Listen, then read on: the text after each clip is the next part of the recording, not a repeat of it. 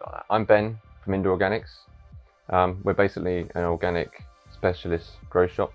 Um, started by just making our own specialist organic living soils and expanded out from there to sort of do all the individual amendments for it as well as the accessories, the beds, the pots, watering cans, sprays and that sort of thing.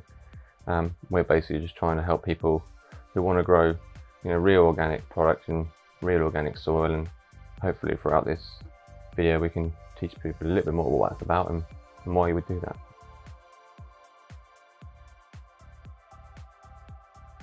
What do we do? So basically, Indoor Organics, what we're trying to do is we're trying to kind of be like a one-stop shop in effect for anybody who kind of wants to get into what we're doing, um, which is you know trying to grow. It doesn't matter what you're trying to grow, but you're just trying. You understand the benefits of organics, right? I guess initially, to be fair, you understand you know why you want to grow that way. Be, be it because it's just a case of you're chasing flavors or you're chasing aromas or you're chasing a, a, certain look in, in your flowers or whatever it is, or be it because you want it for nutrient density or the fact that you don't want the pesticides and the synthetics used in it. So those are the sort of the reasons why you get into this game really.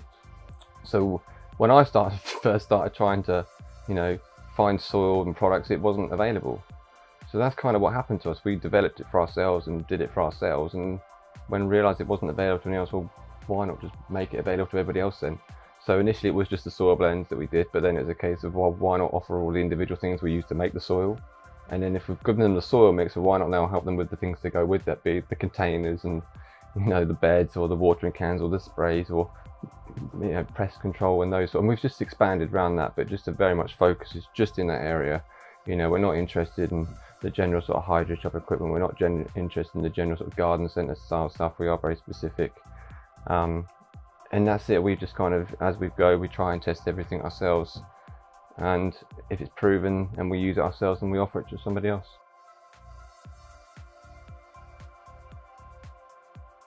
I'd always been a grower for a long, long time. And I'd used all the current methods.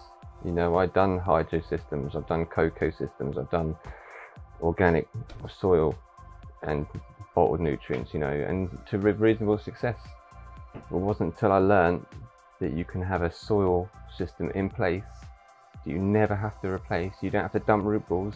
You haven't got all that ball ache, yet you can still produce fantastic yield and higher quality than you've ever seen. Like, what, what more do you want? And I was like, that, that was that's what that's what got me into it. Just the simple fact that you're not bringing things in and out anymore. All your waste material gets recycled into your soil. So it's just the simplicity of it, and then when that goes with the fact that it's obviously always going to be better than anything you can do synthetically. And when you see the results yourself, and at that point, you're like, ah, there's no turning back. If you want to learn to grow these days, who do you ask? You've got a grow shop, you've got a few books, and you've got the internet. But back in the day, we didn't have the internet, and there wasn't really many books, and there wasn't really many grow shops. None of us went to ask our nan and our granddad on the allotment, how are you growing the beds? How are you growing, and they'll teach you about compost. Yeah, and that's what we really should have learned. But because we didn't, we learned the lab-based way, the chemical industry way, which is actually you can do it by extracting these minerals and mixing with salts and water and feeding it direct to the plant. You grow a plant. We haven't got to rely on, you know, nature. Aren't we clever? But and it you'll get somewhere. But like I said, that's when you go through all those processes and you have the floods from your hydro systems. And like I said, you have the ball acre throwing medium away when you're running medium so it was all I was. I was, I was on a podcast. Someone come onto it, and he was an outdoor grower in NorCal. Been an outdoor grower forever, and they don't have grow shops in NorCal, right? So they've got to use what they're around them, plants and animal wastes and whatever else. But they had a fire, lost his entire outdoor crop, and he decided I need to pay the rent. What am I going to do?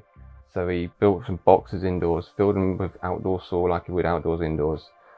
Put went on his podcast, explained about it, put a few pictures up on the internet and it's like I said, once I saw that when I heard about that, that he'd never thrown away that soil and he was growing these crops indoors that were just, as far as I could see, were just as good as anything you can do outdoors in a greenhouse. And he was, it was so cost effective because he didn't have to buy nutrients and he wasn't throwing anything away each time. And he also explained how the soil got better and better and better each time, so his yield increased each time. So that's kind of where it came from, just that, that first thing. I must have been 2014, I think, when I first saw that And that was the first thing that kind of thought, okay, right. And then you get on the internet and you find out people are discussing this. It's forum boards and people like Clackamas Coots and Mountain Organics, and we're trying to suss out uh, what is the ideal soil mix and what are the inputs and the ratios. And that went on for two, three years on the internet. You see, just trying to just discuss and work and trial and play. And then that's when I finally got into actually trying to source the inputs myself here. So, okay, or, organic living soil, Google, nothing. Kelp meal, no, nothing. Neem meal, nothing. So it's like, where did where do we start? So that was the first challenge. Even before we had the recipe and had an understanding of what we were trying to make, where do we go to find this stuff? And then when you do find kelp, there's seven different options. You bring them all in and they all look different, they all smell different, and which is the right one to go with. So you have to understand, well, what am I trying to get from this? What am I looking for that makes this the right, the better product than that one? And actually go through the process of actually saying, I can't use that because that's been processed a certain way, or I can't use that because it's been stored a certain way. So it actually takes a lot of effort just to get to the point where you can collect the inputs to build the recipe and then actually make a mix. So that's what we did in a flat, in a tray, it literally stinking out the house sort of thing doing it in a very small scale for ourselves. And then when we realized it worked and we saw the benefits from it, we were like, okay, let's expand this. Got a garden, we moved to the next house. Then we got an allotment so we could go a bit bigger. Then we had a bit more space indoors, we could do more space indoors. But then same situation when I heard about malted barley powder or when you hear about something else and you hear the benefits, can't find it. Okay, right. So it got to the point where you've actually done all the work to source all this and, and kind of put it in one place for yourself. But as we all know, you can't just keep something for yourself. When you've got something good, you've got to share it with others. And that was the case. Look, let's just build a website. It's, a very basic website that we have, but just an opportunity to have somewhere. So if you search for organic living soil, if you search for no-till, if you sort for, you know, that you can now find somewhere which has it all for you all in one place. And not only that, you can get on the phone to us, you can get on the, you know, email, Instagram, and we'll support you all the way through it.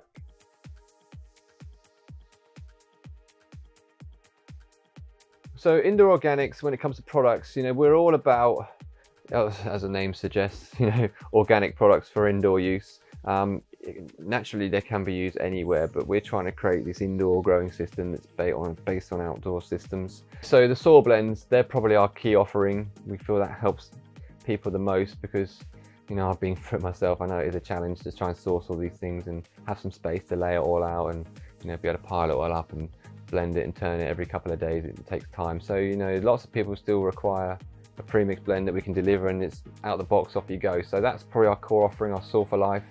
You know, our original blend that we've done for years and we'll, we'll do forever. It's tried and tested and, you know, amendment kits to go with that.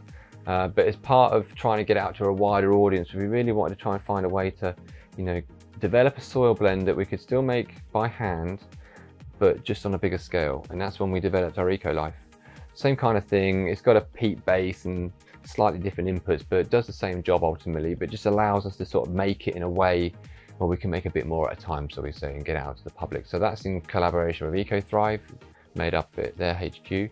Um, there's a product that goes alongside that called Life Cycle, uh, which is basically all the inputs and amendments we put in the soil, just in a little dry amendment mix that you can use to re-amend your soil for long-term use or use for different applications. Um, but yeah, when it comes to just our own specific, our own products that we carry, um, we kind of only really sell things that we feel are going to enhance the system or be part of the system. Um, and the system we're trying to create is, like I said, taking outdoors, indoors, and create that ecosystem that involves microbes and bugs and the breakdown of organic materials. So um, there's three things really that we would say to go with your soil, and that's cover crops, worms, and mulching.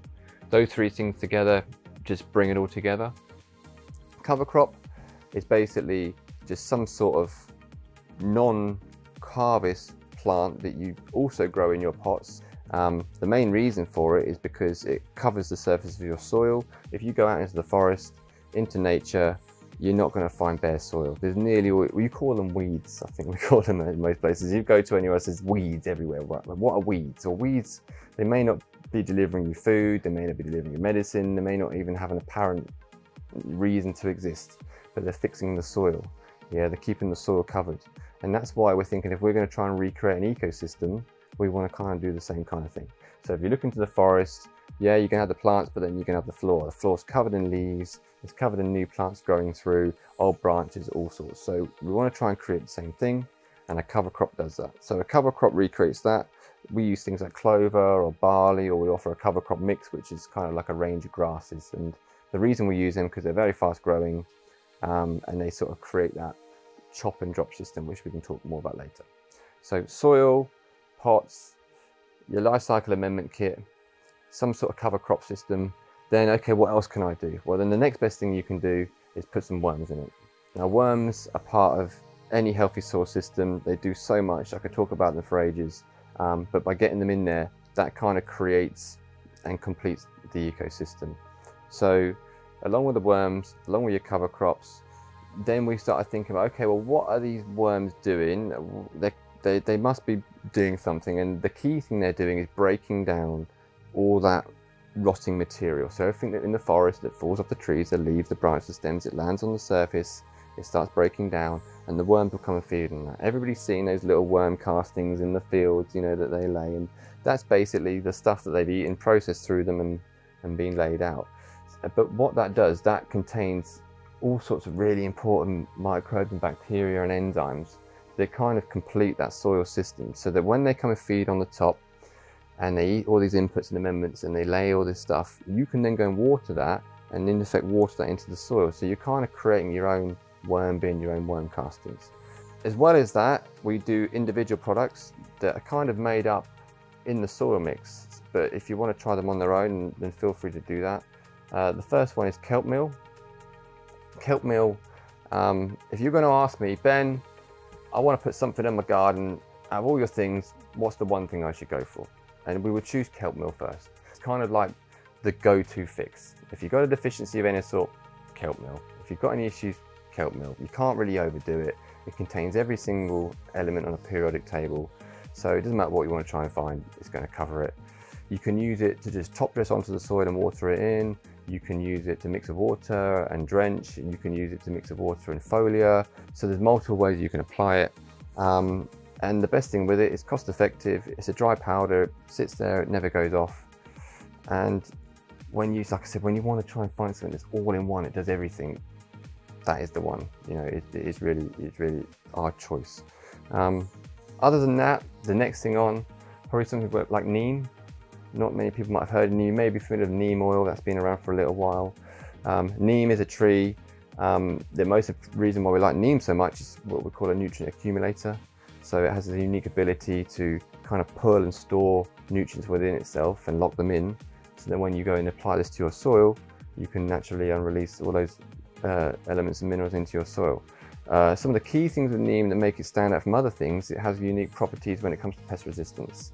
So it can help your plant sort of be more pest resistant in itself, but not only that, it has unique properties in the soil. So when it comes to microbes, you are going to get good and you are going to get bad. Now, naturally, we want to try and encourage the good ones and sort of hold back the bad ones. And that's what neem is very, very good at. Somehow, it has a unique property to suppress pathogenic microbes, but encourage all the beneficial ones. So when we're looking at things we can use in the soil to improve our soil health and to improve our plants, yeah, sure, you can use nutrients and find products that will deliver that, but why not find products that can do this and do this and do this and do this and do this all in one? So that's kelp and neem, they're the two that really do that for you. But then likewise, when we're thinking about, well, okay, what other plants can we find? What other have unique properties? That's when you come across things like aloe vera. Yeah, aloe vera has been known as one of the most medicinal plants for humans and animals since forever, right? You can use it in so many ways. Um, you can use it for cloning, literally all I do is I soak my root cubes in it, I put some water, I soak my clones in it for 20, 12, 24 hours. They go in the root cubes and you'll probably get rooting just as fast as any commercial rooting agent, but your roots will come up better than anything I've ever seen, you know, and they're immediately ready to interact with an organic living source system because kind of they are, it's plant-based, it's not synthetic-based. So aloe, a magical, magical product. It can be used in a low dosage, so a package goes a long, long way. It's very cost effective. You can use it for foliar, you can use it for soil drench. Um, you can use it regularly, literally every two days if you wanted to. Um, but one of the main benefits is the way it enables a plant to sort of really boost its own health. So uh, within a plant, it has something called a systemic acquired resistance. And this is kind of like an inherent process where if it notices or it detects or it's communicated a threat or some sort of issue, it can kind of respond to that and boost it up so it's prepared. in order to do that, it needs certain, you know, elements available to create these compounds within itself, you see. So and that's what aloe is so good for. So, so when you either incorporate in your soil mix or use it for a foliar or a soil drench, the plant can use all those unique properties. So if, for example, it does get a little bit dry, or if there is a pest presence, or if there's any sort of stress factor on that plant, it can just produce the chemicals it needs to do to sort of make itself extra strong in those areas. Um, it comes as a powder. Like I said, one teaspoon or half a teaspoon per litre is normally absolutely fine. So it, go, it lasts ages, it's easy to store. Um, but yeah, these are the sorts of things where if you want to get the, the more out of it, that's kind of where we're looking. A couple of little products, a couple of extra tips and tricks to kind of take you from base level to, you know, really giving them a treat. From maybe a new, someone who's maybe new to living soil, maybe who's not ready to jump in fully with, you know, big pots of living soil, eco life and life cycle worms, cover crop mulch, and oh, okay, well, not quite ready yet, but you know, let's see what some of this can do for my garden the one thing I would recommend to give you give you a feeling that what you've done, you can notice the results right, is our malted barley powder. It's kind of cover crop, the benefits of cover crop in a package, shall we say. So if we rewind a little bit to say, well, what is what is what is barley powder? Where does it come from? So malted barley powder is in effect barley seed. And the, the seed has just been allowed to germinate to the point where you just get a little bit of the taproot coming out, then it's freeze dried and powdered. And the whole point of doing that is because a seed, when it's in effect made by its mother, has to be given everything it needs for life. So, like a mother's milk. Because when that seed first germinates, there's not a taproot in the soil at that point, there's no leaf material collecting any sunlight, it needs everything. So that's why cover crops are so effective because when you lay these seeds on your surface of your soil and they all germinate, they release all these amazing benefits into your soil as part of that germination process and putting their taproot out, you see. So then we thought, okay, well, is there a way to sort of harness and capture that? And people thought, well, actually, yeah, if you take that seed and you capture it the way we do, as long as you do it in the right way, you can lock in all those beneficials. And the beneficials have been identified as mostly enzymes. And the reason why enzymes are so useful in a soil system is because the microbes are using enzymes. They're using enzymes to break down all the raw materials we put into it to make them available for the plant. And obviously the microbes can do so much and they're working really, really hard for you. But let's face it, we can always help them out a little bit. And that's why if you can take that freeze-dried germinated seed and just apply that to the soil, all those enzymes are going to go to work like microbes now, naturally, we don't like to interfere with the natural processes too much, create an imbalance, but as long as you're careful and use dosages as recommended, and really all we do is a gentle top, like with the neem, it's a gentle top dressing on top of the soil and water it in every week. Um, or if you wanted to mix it with water, we normally recommend a tablespoon per gallon. Um, you won't ever overdo it. But what you will see is almost an immediate and instant reaction. The plants will show you that they enjoyed that because they now access to all those little bits of mineral or elements that maybe weren't quite available to them because the micro population wasn't quite strong enough yet in that area. Um, so it just enables you to sort of just complete that little, that last little 5% of just sort of really the enhancements in the soil. You know, some people talk about adding CO2 to enhance and these sort of, this kind of one of those things, okay, if it's going really, really well, but that will allow you to drive that. So that's really one of our, we really, really recommend that product because like I said, it's really easy to use, it's cost effective. You can mix it with water and use it as a drench. You can just dust it on the soil and water it in. Um, but yeah, fantastic product.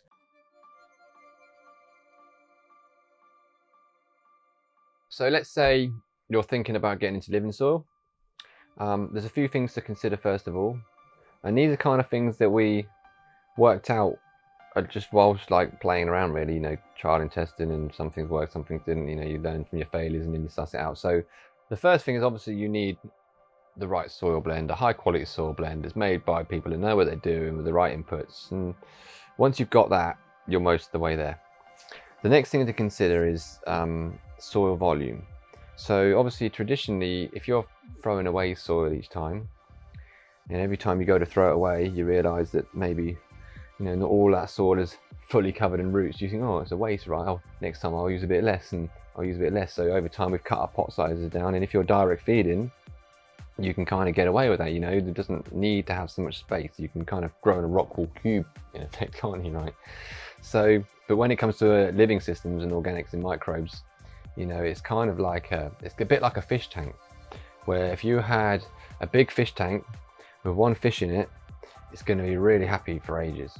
But if you get a little fish tank, put loads of fish in it, they're going to get pretty unhappy pretty quickly. So it's just the same kind of thing, right, in any living system. So volume is the key thing before we go anywhere. So when we talk about volume, we probably need to think about two things. One of them is, are you intending or considering to use the soil again and long term? Because if you are, probably need to have a, a much bigger pot than if you were just going to use it one off. If you're going to use it one off, then you can definitely crunch your pot sizes down, but you're naturally going to have to try and keep your plant size relative. So we say, so you say, okay, I'm going to do single use.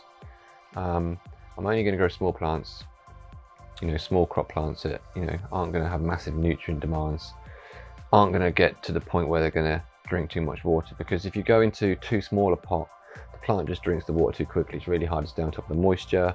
As soon as you get wet, dry cycles, you start running into challenges. So that's why we say soil volume is the key. As a, a layman's term, as a minimum per meter, shall we say, if you were going to go into pots, we would probably have a minimum of like four or five 15 gallons, 60 liters. So you're probably talking about a minimum of like 200, 250 liters of soil. So this may seem like a lot of soil initially, but if you're never throwing it away, then it's just an investment and it shouldn't really be a problem. Um, obviously, if you have pots you want to bring in and out of your room and that sort of stuff, then naturally size can be a problem. So, you know, bear that in mind. But as in a nutshell, the best advice we can give is the more soil, the better. So that's the first thing, soil volume. If you're going to use it long term, go for as much as you can. If you can use it single use, you can maybe use it a little bit less, but bear in mind, the smaller you go, the more challenges you're going to have and it actually gets harder. So as a recommendation, the best tip we can give you, 15 gallon pot as a minimum, four per meter as a minimum.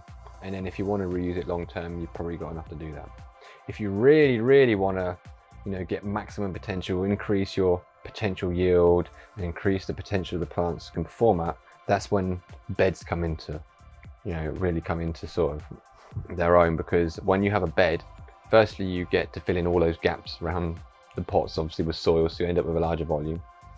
Um, when the plants are in together, they can start interacting and helping each other and sort of sharing nutrients and protecting each other, so you get the benefits of that. Um, also, a larger body of soil retains moisture a bit easier. So when we're saying about you know, when a plant gets big and it starts drinking a bit quicker and it might get a bit harder to keep up with that. Whereas a bed, it's just a lot easier to keep it moist. So that's, that's soil volume. I know it may sound scary to some people to think about putting this much soil in a place. But like I said, if you're not replacing it every time, it's a one-off job and then it's done. When it comes to tips and tricks, when you're considering this, obviously think about if you need to pre-veg plants. Because if you want to pre-veg and bring them in, Obviously, there's kind of a limit to the pot size you can move. 15 gallon is probably about the biggest anybody can move on their own. 30 gallons is movable, but gets a bit awkward, so that's a consideration. The other thing, of course, is when you, if you have a bed and you want to transplant into it, you don't really want to have to dig too much out of it and sort of disturb it too much each time. The whole point of a no-till living system is you don't disturb the soil, you keep it undisturbed as much as possible. You can maybe scratch around a little bit if you need to, but you know, the, the less the better. So if you've got a transplant in each time you're digging out big, you want to try and avoid that. So that's these are things to consider. And obviously, if anybody wants any help with this, to feel free to give us a call or contact Groworks, and we can help you size up the pot size for your application and whether beds are right for you, you know, or individual pots. But the easiest way to sum that up is that if you want the very, very best from it, you want to use it long term, go beds, go large volume. But at the same time, if you just maybe want to have a play, have a try, feel free to chuck a little pot in there. As long as you keep the plant small, you're still going to have good results and it'll give you some confidence to go on. So that's soil volume. Like I said, that's that's my biggest tip. The next biggest tip when it comes to soil volume and, and why it's linked to soil volume is moisture, watering. Because in a living soil system, the microbes are just like us. They need a certain level of moisture to be able to exist and thrive. And if they get too dry, then naturally they're going to have to, you know, die potentially or more likely just hibernate. Um, so that's why in a living soil system, watering and the way you water is the most important thing. You don't want to have, you know, like a flood and sort of dry out period. You don't want it to be wet, dry, wet, dry, wet, dry like this. You want it even. More, maybe when plants are small, you can have it a little bit drier and as they get bigger, you can ramp it up a little bit. So when we're trying to achieve that even moisture, that constant moisture, we're thinking, well, how can we do that? You know, because when you water plants or when you water soil and you've got lights or sun above it, naturally the top sort of dries a little bit quicker than the bottom. And the tendency is to come along, go, oh, it's dry, I'll water it. And you water it, but then that water just soaks to the bottom. And the dry gets, top gets dry again, you go, oh, I'll, I'll water it. Gets to the bottom. You go, top gets dry, I'll water it. So before you know it, it's getting wetter and wetter and wetter, and it's getting overlogged and waterlogged from the bottom up. And having too much water or too high moisture level is almost, if not worse, than it being too dry. Because when you have too much moisture, it pushes out the oxygen, uh, the pH drops, and then lots of these uh, elements that normally available are locked out and you get a full lockout. So two wet's really, really bad. Two dry is really, really bad. Even is perfect. So if you want to try and keep it even and reduce that evaporation, the very easiest way you can do that is with two things, cover crops and mulches. We explained earlier about how these are sort of like our key products, along with worms. Um, and the reason why we're using those is because once you get that mulch on top of the soil, and the mulch is just another worm for some organic material to go on top of it. You know, you could use a plastic sheeting if you wanted, just to cover off the top of the soil. But we obviously want to try and create a system where it's working its way in over time like it would do naturally. So we're going to try and find some sort of organic material and one of our favorites is either barley straw or hemp shiv mulch. Um, Groworks carry our hemp shiv mulch because it's our easiest to apply for the average user. It's less messy, but it still does the job of covering off the soil. And then once you cover off the soil, when you water it, it just kind of helps the whole thing stay more evenly moist longer, shall we say. And then that sort of avoids that wet dry cycle. So that's one of the best tips I can give you. Get your get the right soil volume, get your mulch on, and then concentrate on just keeping the watering even. Um, alongside that, as I mentioned, the cover crops. So in any natural system, as I said, you're going to have stuff falling down, decomposing, that's your mulch, but you're going to have new growth coming up, and that's your cover crops. So you can use pretty much anything for a cover crop. Um, one of the old favorites has always been clover, but we now offer our cover crop mix, which is a blend of like native UK grasses, the barley, the wheat, the rye, um, some oats, some buckwheat mixed with the clover. And the whole point of that is when you sow that onto your soil, they will all germinate and put their roots down. Every one of those plants will be releasing exudates into the soil, which feed microbes, um, which will enhance your microbial populations as well as that when it actually grows up through the, the mulch and becomes apparent eventually it's going to get a bit long and a bit messy. So you all you have to do is chop it or press it down and then what that does that then dies back into the soil. And in balance with the hemp shiv mulch and the cover crop coming together that creates kind of like a compost and a composting situation in situ so that when you're now having that the worms that you add which is the third and probably equal most beneficial product and most highly recommended, that comes and feeds on the cover crop that's breaking down and the mulch is breaking down and that kickstarts that whole ecosystem. So like it would be if you went out into the forest and you scratched around and the leaves that are falling around, that's where the worms would be. And the worms are coming in, a cycle of the nutrition. So yeah, get the right soil volume, get your mulch down, get your cover crop on, get your worms in it. And that is really, that takes you to 90 95% potential. You know you're really going to see amazing results just with that. That'll keep the whole thing going around and around and around and around forever. Um, when it comes to using soil long term as mentioned you need to kind of replace what you take. So providing you use all your waste material your stalks your stems anything you defoliate anything you prune anything that's not harvest shall we say that all goes back onto the soil chuck it straight back on use it for additional mulch the worms will break that down they'll turn it into soil and they'll keep the whole thing going around. Um, you know, it's a water only system when you're using organic living soil. So literally all you need to do, apply, we like to do it with a watering can or the sprayer so you can try and get like an even coverage, like a rain type effect. Um, there's various irrigation systems you can use as well. But in effect, just that's the only thing we need to master, just the watering system. And then the soil takes care of everything for you.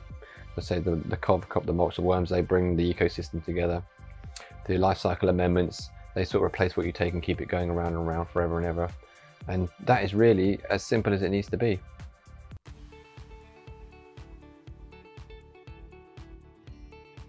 Yeah, so out of all the things uh, I sell, aloe, I think it's my favourite. It might just be a personal favourite because I just like it, but there's a reason why I like it is because I use it so much. You know, it's so easy to use, it's cost effective, it brings so many benefits. Like I said, you can use it as a wetting agent, you can use it for a rooting agent, you can use it to boost your plant's immune system, you can use it for its foliar, you can use it as drench, you can use it to say, it's just, yeah, it is, it is great really. And um, even to the point where I'd say I'd recommend everyone just have a plant at home. Keep your own plant, chop your fillets off, and if you can't bother to do that, then a little packet of powder.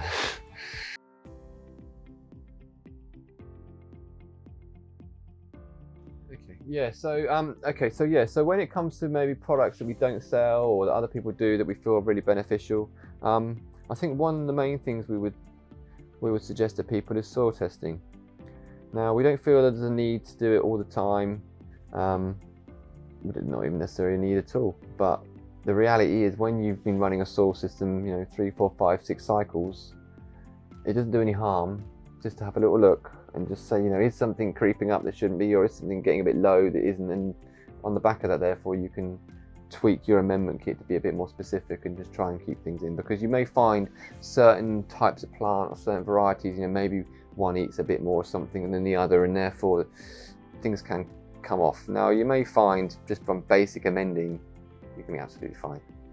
But yeah, I just think actually something that if you want, if you're unsure about anything or, you know, if you've got the budget, hit us up every three, four, five, six cycles. We run a soil test. It's not something we do ourselves. Like we said, we have to outsource it for you. We can come back with a report, give you a feedback of where things may need tweaking, and then it just keeps everything just, just perfect all the way through, all the time.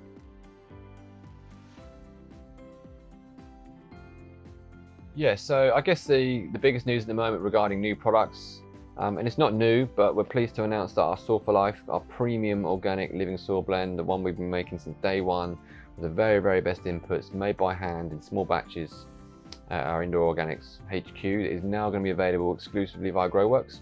So you can get in store and pick that up. Um, you can obviously order it along with your other products. Um, and that's for the people that want the best of the best. You know, Eco Life is great, don't get me wrong, but we do for our Soil for Life is just the best of the best. So that's something to look for if you're one of those guys. Um, alongside that, we've released a specialist compost, our supercharged compost. Um, the reason for this is because it's really hard actually to find a compost in the UK. You can Google compost, but you're just going to get a whole wide range of things. Most of it is pretty unreliable. We wouldn't touch any of it to be fair. We only have two sources of compost that we use in our Soil for Life. Um, so we've basically combined those along with our premium vermicompost, some aeration and some other premium inputs just to create a compost that you can either use to make your own soil mix with um, or use to top dress on an existing soil mix or to maybe make a compost tea or an extract with if you want to try and inoculate microbes or bring some nutrition into your into your soil. Um, it's probably it probably can be used as an individual standalone soil mix as well if you wanted to. Um, but to be fair, yeah, we see that just as a, for the people that are looking for compost, that's something you can trust.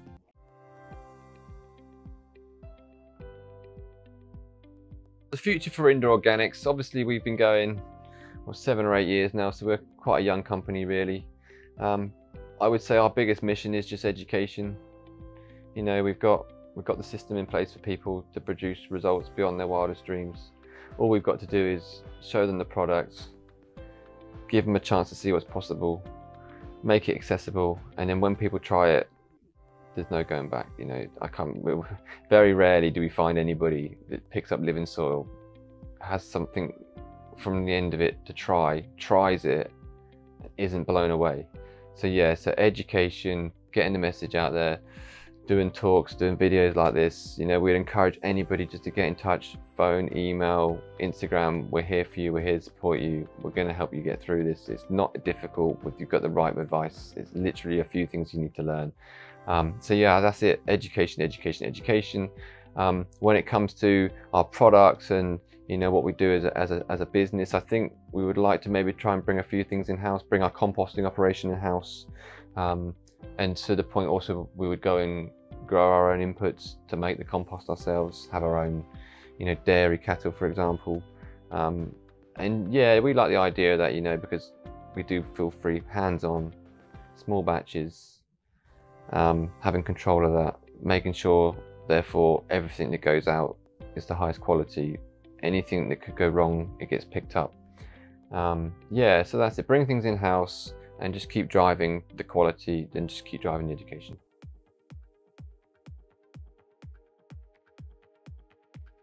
What would you give my growing skills? I don't know, maybe you should ask the people who try the product really. but uh, we do our best, shall we say. Um, I, will put it this way. I used to think I was a good grower, yeah. But now I've found living soil, the level's just gone up a whole other level.